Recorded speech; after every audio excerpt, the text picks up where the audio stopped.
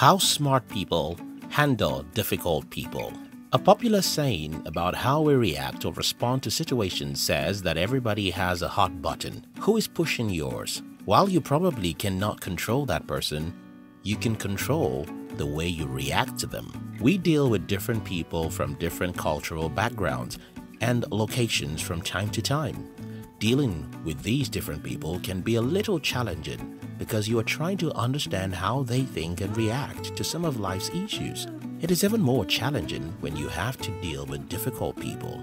Dale Carnegie once said that when dealing with people, remember you are not dealing with the creatures of logic, but with creatures of emotions, creatures bristling with prejudice and motivated by pride and vanity. Knowing this will help you understand everyone's differences, but in the case of difficult people, it takes a little more effort. Shannon L. Alder, an inspirational author said, and I quote, Relationships with negative people are simply tedious encounters with porcupines. You don't have the remote knowledge of how to be close to them without quills being shot in your direction. In this video, I'll share with you how smart people handle difficult people. This, I believe, will help you become a successful person. If you're new here, consider subscribing so that you won't miss other interesting videos like this. 1. They establish boundaries. In dealing with difficult people, you have to decide rationally about when and where you have to interact with them and when you don't. You should know when and where you can put up with them. Hence, establish boundaries. But you'll have to do so consciously and proactively. Difficult people are the way they are for so many reasons, one of which being that they complain and wallow in their problems and fail to focus on solutions.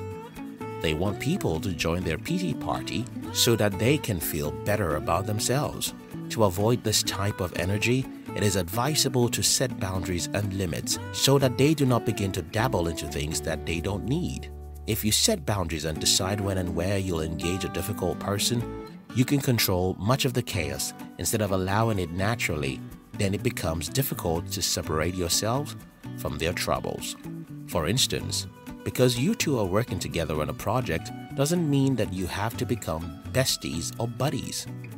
You can leave things on a professional level to avoid chaos between both of you. 2. They are aware of their emotions. Self-awareness, as defined in psychology today, is that it is the accurate appraisal and understanding of your abilities and preferences and their implications for your behavior and their impact on others. To maintain an emotional distance between you two, you have to be aware of yourself. I mean, how can you stop someone from pressing your buttons when even you do not know where the buttons are? Being self-aware will allow you to acknowledge, understand and account for any internal or external influence that might be a threat to us. 3. They focus more on solutions rather than the problem. Smart people are result-oriented people. They believe in working out a solution no matter how difficult a problem may be. They understand that the more they focus on the problem, the more they get stressed about it. While when they focus on the necessary actions needed to find solutions to a problem, the more they produce positive emotions and reduce stress. When it comes to dealing with difficult people, the more they think about how difficult the person is, the more they stress themselves about the relationship. However, when they focus on trying to find ways to deal with them, the more effective you become in handling or dealing with them, especially if you just can't avoid being friends with them or communicating with them regularly. Karen Salmansohn, a best-selling self-help book author and award-winning designer said, when you have a solution-thinking mindset and choose to focus 80% of your thoughts or words on solutions, you will not only be heading more speedily to long-term successes, but you will immediately feel better at the moment. 4. They ignore or find a way to suppress negative self-talk. Although you might feel bad about how a person is treating you, be careful not to allow yourself to indulge in self-talk because it will make you overanalyze things in your head, making you feel bad more about how you are being treated. It sends you into a downward emotional spiral that is difficult to pull out of. You see, the truth is that negative self-talk is unrealistic and self-defeating. 5. They focus on their goals. Do you know how we said earlier that smart people are result-oriented people? Well, now not only are they focused on achieving success in all that they do, they are well-focused people.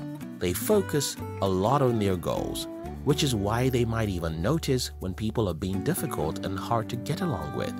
Venus Williams, an American professional tennis player, said, and I quote, I don't focus on what I'm up against. I focus on my goals and I try to ignore the rest. Summary Dealing with difficult people can be so tedious. However, it is not impossible. Smart people have generated for themselves a formula to help deal with them. They establish boundaries and set limits. They instantly become aware of their emotions so that they know where and when to put up with such people. They focus more on solutions rather than the problem.